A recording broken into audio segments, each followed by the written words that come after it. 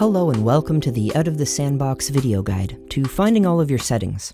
This video is for you if you're using one of the Out of the Sandbox themes that has been updated to support the Shopify Sections settings interface. If you're using any of these versions of the themes, then you can take advantage of this new settings interface, which the Out of the Sandbox team has leveraged to give you ultimate flexibility over configuring your shop, not just the homepage, but also the internal pages of the shop.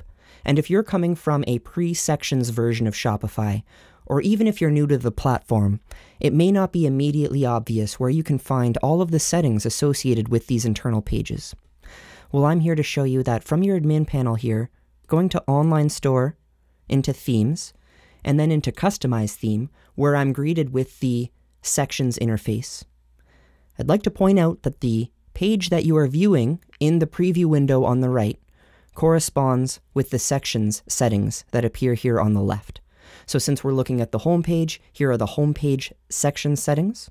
If I would like to see the collection page section settings, I need to navigate to a collection page. As you see here, the settings have changed to reflect the default collection page template settings. Likewise, if I would like to access the product page settings, I can either navigate to a product through my main menu, or I can just click on the thumbnail image here from the collection page to access the product page and see the product page settings. So that may seem fairly straightforward, but that is predicated on you having some content on the Shopify platform. Specifically, you would need to have a product or some products, maybe a demo product on the platform. That product would need to be categorized into a collection. Furthermore, you would need to set up a way of navigating to that collection, which can be done any number of ways, but my favorite way would be setting up a main menu.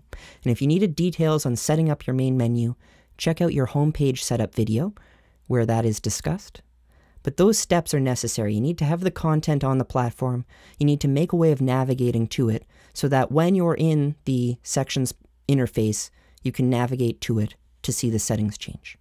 So this also applies to the blog page, which has its own set of section settings, as well as the blog posts that have their own settings. So before you'd be able to access those settings, you would need to have a blog post on the Shopify platform and a way of navigating to it.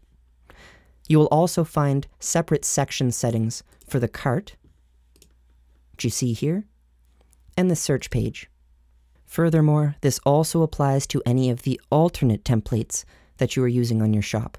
As you see, as we head into a product here on the Shopify platform, we have a selection of theme templates. And these are templates that come built in with your out of the sandbox theme. I'm going to choose this special product.details template, which is a special template that gives you ultimate flexibility over the bottom portion of your product page. But to access the settings, I need to be sure to not only set the template here in the product, but in the customized theme settings, I need to navigate to that specific product to see the settings here on the left change to reflect the special template that I have selected. So that's going to apply to all of these product templates, these alternate collection templates, and these alternate page templates. So again, important to create the content, set the template, create a way of navigating to the content, and then head in to the section settings to see all of your options. Finally, we also have this area of general settings. These settings do not change depending on the page that you're viewing here in the preview window, but there are settings in here associated with some of the pages we've looked at, like the cart. We have these product grid settings, which apply to the collection page and to the product page. So be sure to check out all of the general settings and be sure to check out all of these section settings so that you see all of the potential that the theme has for configuring your shop. I hope this clears it up. Thank you for joining me for this video guide. My name is Sean Campbell. Take care.